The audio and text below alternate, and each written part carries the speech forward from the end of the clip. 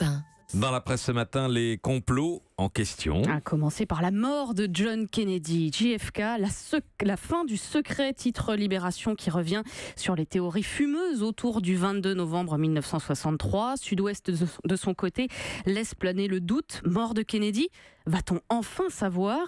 C'est qu'on nous cacherait bien des choses. Par exemple, doit-on craindre les robots? s'interroge le Parisien.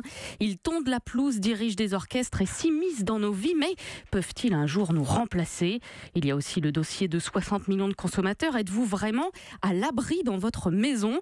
C'est vrai, ça quoi de plus anodin et inoffensif, écrit le magazine, qu'un lave-linge ou un lave-vaisselle? Pourtant, chaque année, des centaines de produits sont rappelés pour défaut de sécurité et trop souvent, le consommateur ignore que le danger peut se cacher dans ces objets. Smartphone, chaise de jardin, chaussures ou encore thermomix, tout est recensé sur 9 pages. 60 millions de consommateurs qui publient également un dossier exclusif sur les banques qui matraquent les clients en difficulté. Une enquête sur les frais bancaires reprise par de nombreux journaux, notamment l'Humanité. Les clients à découvert se voient prélever 300 euros par an en moyenne contre 34 euros pour les autres. Autrement dit, les banques se payent sur le dos des pauvres. Dans le courrier Picard, Daniel Muraz ne parle pas de complot, mais décrit un système organisé en douce parce que pour contourner les dispositifs d'encadrement des frais bancaires, écrit-il, les établissements ont des pratiques à la limite de la légalité. Or, enfoncer la tête sous l'eau de celui qui se noie n'est pas la meilleure manière de le sauver. Manquerait plus qu'il demande aux banques de faire de l'humanitaire. Bref, pour me changer les idées, j'ai voulu ouvrir le Figaro Magazine et là, paf, Ah oui, vous édito faites, de vous. Guillaume Roquette. Un certain nombre de féministes veulent révoquer les relations hommes-femmes. Révoquer, oui, révoquer. Attention, dit-il, à l'abolition de la virilité. Quelques pages plus loin, Éric Zemmour approfondit l'enquête. Derrière la campagne contre les porcs, dit-il, il y a ce que l'on nous cache. Si l'on était amateur de complot, on dirait que cette campagne médiatique est bien utile. Fini la Catalogne, les travailleurs détachés, la Corée du Nord, Daesh, sans compter la Chine, dit-il. On n'en parle plus de la Chine. Son impérialisme économique n'intéresse plus personne. Heureusement, ce matin, on peut trouver dans le Figaro, justement, un dossier de quatre pages sur la Chine. China Watch, le supplément produit par le China Daily, le journal de la République populaire de Chine. On y parle du plaidoyer présidentiel de Xi Jinping pour un coup de jeune. On nous explique qu'en matière de recherche, la Chine a la bonne formule ou encore que le chef du PC au Tibet parie sur une croissance équilibrée. Coïncidence peut-être, complot certainement pas. C'est un supplément publicitaire. hein, Absolument. euh, payé par les Chinois. Et puis il y a cette question en couverture du point.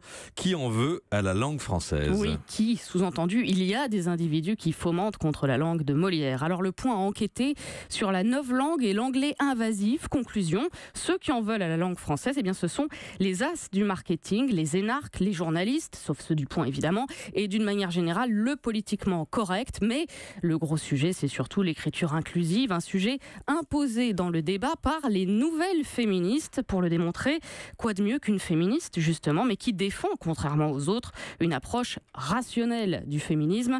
Peggy Sastre dénonce sans embâche une forme de terrorisme intellectuel. Terrorisme, le mot est lâché et approuvé en creux par l'Académie française qui voit dans l'écriture inclusive un péril mortel. Comme dit le point, la langue française et le sens des mots, c'est important. Alors, à propos de terrorisme et de mort, il y a surtout le procès d'Abdelkader Mera qui fait la une notamment de la Nouvelle République et du Figaro, mais il y a aussi l'excellent papier de Willy Le Devin dans Libération, Malaise en cours, publié hier et disponible sur le site libération.fr. Que juge-t-on au juste au procès Mera demande-t-il, déplorant un procès devenu illisible qui a oublié ses accusés et où souvent l'indispensable quête de justice a laissé place à un malaise lancinant. Willy Le Devin décrit entre autres Maître Dupont-Moretti, l'avocat d'Abdelkader Mera, qui déroule une défense de rupture agressive, tape dure et invective perpétuellement les avocats des parties civiles. Dupont-Moretti qui clame que la mère de Mera est elle aussi la mère d'un mort, qui en appelle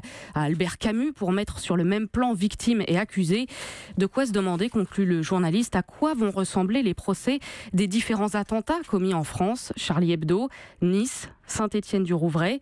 Un défilé de lampistes répond écœuré un avocat de la défense, à lire donc sur le site libération.fr. Et puis dans le monde, on ne parle pas d'un complot, mais de la réparation d'un carnage urbanistique organisé. Absolument, parce que comme d'autres, Arras veut regagner son centre-ville, restaurer l'attractivité, faire revenir habitants et commerçants dans les cœurs de ville. Nombre d'élus tentent de prendre le problème à bras-le-corps, écrit Isabelle Ray-Lefebvre.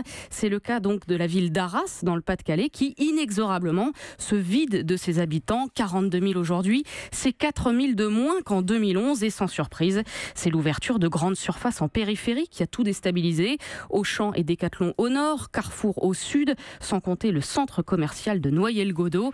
Sauf que les élus minimisent un phénomène qu'ils ont eux-mêmes organisé, rappelle un urbaniste. Alors pour compenser, puisqu'on ne peut pas détricoter ce qui a été fait, la mairie a échafaudé un plan de bataille, embellissement de la ville, organisation de salons immobiliers, festival de cinéma, marché de Noël. Résultat, depuis février 2016, 85 commerces ont ouvert, mais 37 ont fermé. Donc rien n'est gagné, à vous, un responsable municipal. Un long reportage sur la difficile revitalisation des centres-villes qui devrait parler à pas mal d'auditeurs, à lire donc dans Le Monde. Enfin, on reste à Arras avec cet article du journal La Croix sur l'exposition consacrée à Napoléon au musée des Beaux-Arts de la ville. Oui, elle s'intitule Napoléon, image de la légende et met en scène 160 tableaux prêtés par le château de Versailles. Le journaliste Frédéric Mounier nous l'a fait visiter et nous explique comment Napoléon, homme de communication, a fabriqué sa propre légende par le récit. Le conservateur de l'exposition décrit par exemple le tableau d'Antoine Jean Gros, Napoléon euh, devant le pont d'Arcole. Cet épisode ne s'est absolument pas déroulé comme le montre Gros, dit-il. En vérité, face à une débandade générale, Napoléon est tombé du pont et a dû être repêché. Même chose pour un tableau de Jacques-Louis David, le passage du Grand Saint-Bernard, où Napoléon a expressément demandé aux peintres d'inclure les noms d'Hannibal et Charlemagne pour marquer les esprits.